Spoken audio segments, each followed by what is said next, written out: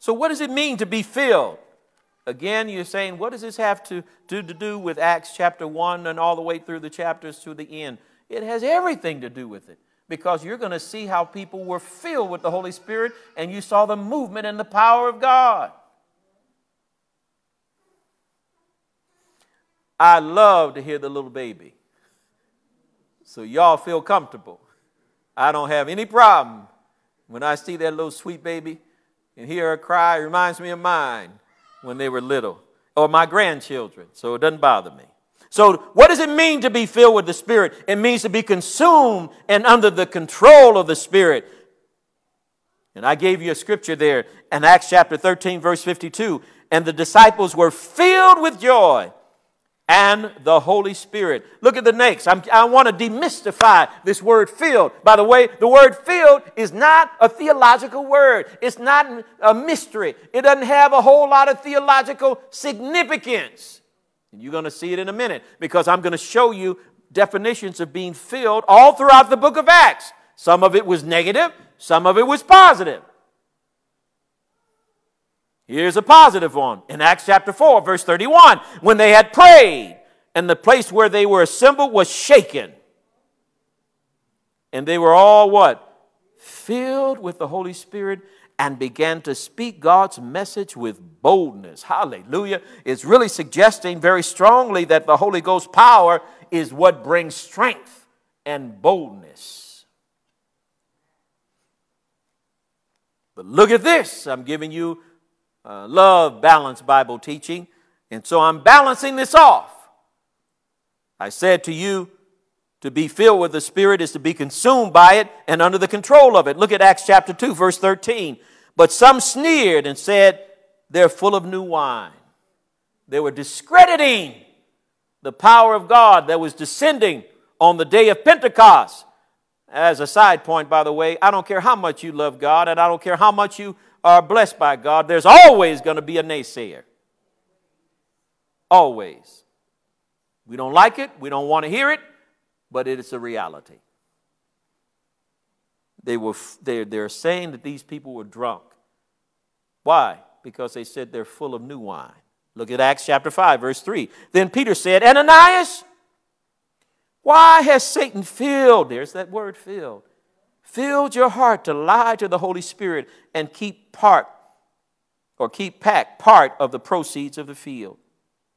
You see where Ananias was being controlled. His heart was being controlled by his flesh. Acts chapter 5, verse 17 and 18. Those who belonged to the party of the Sadducees were what? Filled with jealousy. What happens when your heart is filled with jealousy? What happens when your heart is filled with envy? It is controlled by it.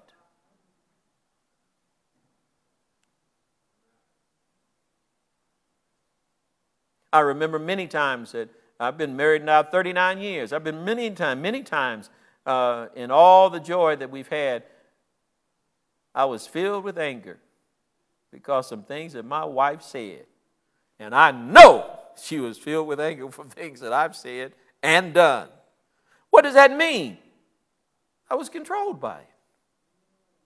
That's why the Bible says don't let the don't, don't, don't go to sleep on that. It's really not good. Don't let the sun go down on that anger. What does that mean?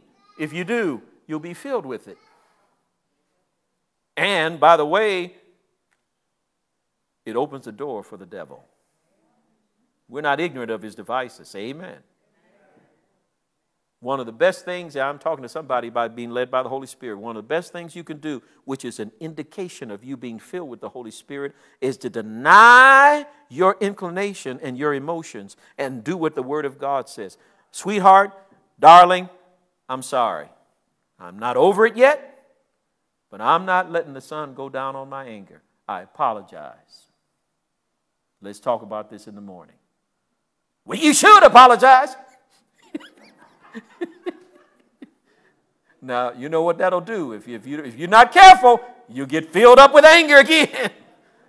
You'll be, here I did the right thing, and she's still going to. You got to get control of it. you got to get control of it. But how do you get control of it?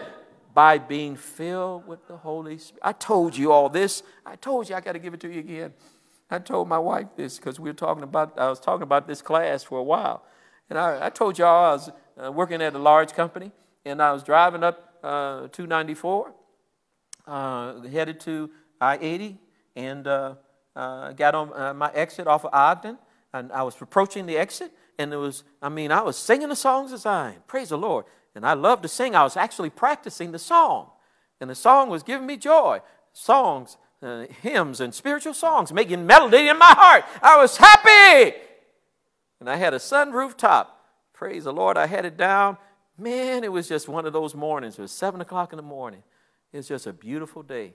And then the traffic jammed up. And my exit was only about a thousand feet ahead.